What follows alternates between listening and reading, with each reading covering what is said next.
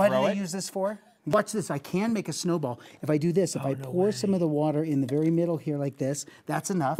And now That's all of a much sudden, water. Nope, that's not much. Now let me excavate. Look at this, and No way. there's our snowball. Uh, but here's what's so great. And then what do they it? use this for? What What do they use this for? Um, diapers. Diaper. Well, but the fake snow. What do they use fake Uh, snow for? They use it for um, The movies. Yeah. Yeah, in the movies. Now, uh, an actor actress can stand in this and it's not wet.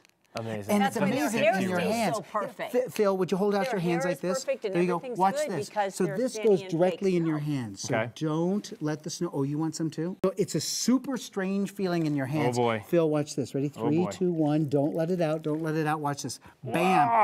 There. it ah, That goes. is Isn't that a crazy feeling? now, literally, a liquid turned into a solid in your amazing. hands. Does it feel like a very soggy diaper?